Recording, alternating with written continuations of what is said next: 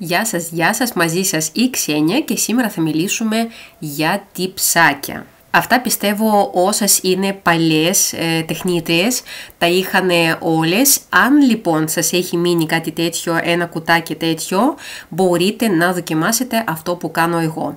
Αν θυμάστε καλά, όταν δουλεύουμε με τυψάκια, είναι πολύ σημαντικό να πιάσει από πλευρό έως πλευρό όλο το πλάτος του νυχιού. Οπότε θα πρέπει να βρούμε ανάμεσα σε όλα αυτά και είναι πολλά, είναι νομίζω 500 κομμάτια αυτό το κουτί. Εγώ το πήρα πρόσφατα, δεν θυμάμαι από που το πήρα.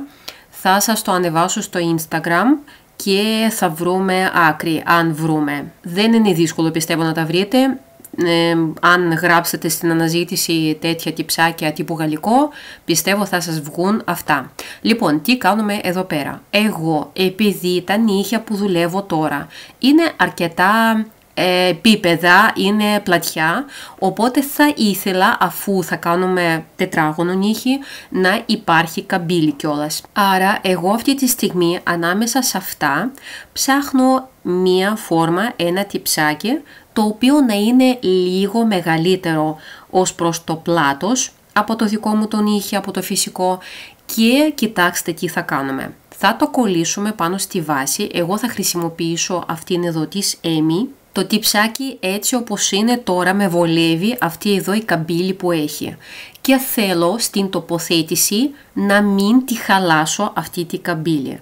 Βάζω λοιπόν τη βάση ίσα ίσα πάνω στο εδώ πέρα στο σημείο που υποτίθεται θα το ακουμπήσουμε στο φυσικό νύχι. Έχουμε έτοιμο το φαναράκι, βλέπετε ότι ήδη έχω αυτό το μόβο μπλε φως και με το που πάω με το τυψάκι και ακουμπάω το φυσικό νύχι δεν το πατάω στη μέση αλλά το πατάω στα πλευρά με αποτέλεσμα να μου δημιουργείται αυτό εδώ κάπως κενό στη μέση δεν είναι κενό φυσικά αφού έχω βάλει τη βάση, είναι απλά ένα σημείο λίγο παραπάνω υψωμένο. Αν έχετε κάνει όλα σωστά, θα έχετε αυτήν εδώ την εικόνα. Αν λοιπόν η ποσότητα της βάσης ήταν λίγο μικρότερη και δεν μπόρεσε να σας καλύψει όλο αυτό ε, το βαθούλωμα, μπορείτε να συμπληρώσετε, μην το αφήνετε έτσι. Εγώ συνεχίζω και δουλεύω με βάση, εσείς μπορείτε να χρησιμοποιήσετε τζέλ ή οτιδήποτε δουλεύετε. Μπορεί να είναι και ακριτζέλ, ας πούμε, δεν μας πειράζει καθόλου. Βρήκα κάπου κάπου μέσα στα σιρτάρια μου αυτό το εργαλείο για τα τυψάκια.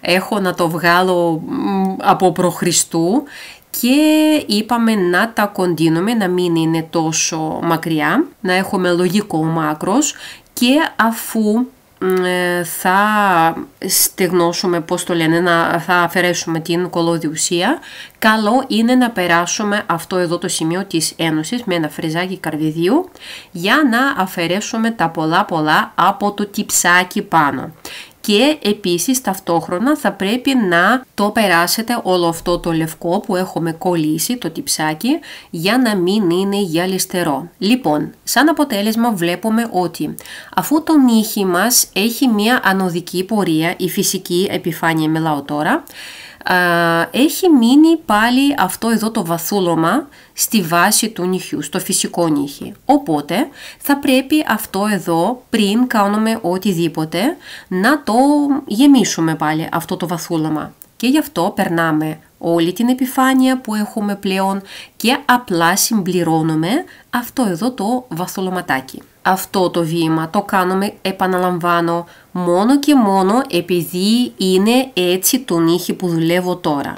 Αν τα νύχια σας είναι καθοδικά ή αν είναι ε, κανονικά, είναι, πώς το λένε, δεν έχουν τέτοιο σχήμα φυσικό σημαίνει ότι απλούστατα αυτό το βήμα δεν πρέπει να το κάνετε από τη στιγμή που δεν θα το έχετε κιόλας. Εγώ σας το ανεβάζω αυτό το βίντεο μετά από τρεις εβδομάδες και το ξέρω σίγουρα ότι κράτησαν αυτά, γι' αυτό και το ανεβάζω. Βλέπετε ότι όλο αυτό έχουμε συμπληρώσει με κάτι γυαλιστεράκια στη μήτρα και το γεμίσαμε στη δομή με ένα τζελ έτσι πρασινοπό.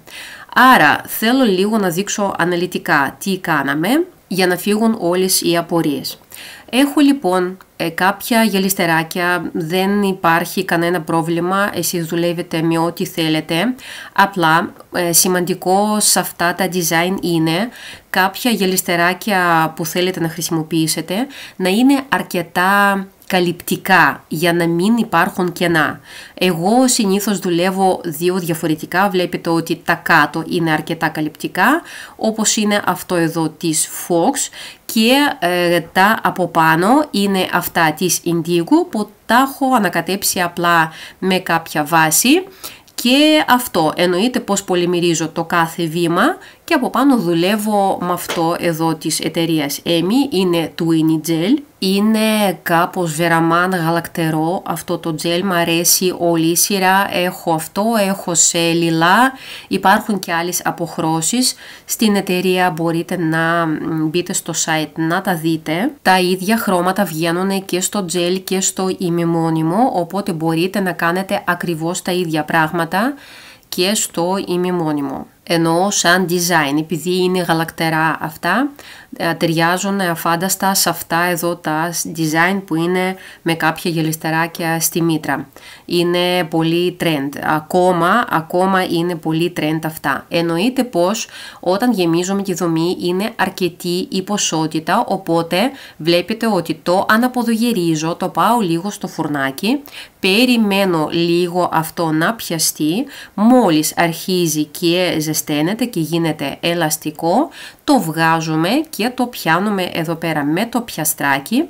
Ναι, είπαμε υπήρχε κάποια καμπύλη εξ αρχής, το τυψάκι ήταν καμπυλωτό, απλά ώσπου να το κολλήσουμε, να το λιμάρουμε, να το κάνουμε κάποιες εργασίες, μπορεί να είχε χάσει κάποια καμπύλη και θα πρέπει να την ξανά επαναφέρουμε αν θέλουμε να είναι όμορφο με αυτόν εδώ τον τρόπο, με τα πιαστράκια. Αν πάλι θεωρείτε ότι τα νύχια που κάνατε είναι τέλεια ή ας πούμε είναι ε, ήδη στενά, ήδη καμπυλωτά και δεν χρειάζονται αυτό το βήμα, μπορείτε να παραμελήσετε τα πιαστράκια διότι και αυτά πιάνουν χρόνο, αν βιάζεστε τόσο πολύ πια, μπορείτε να το παραμελήσετε αυτό το βήμα.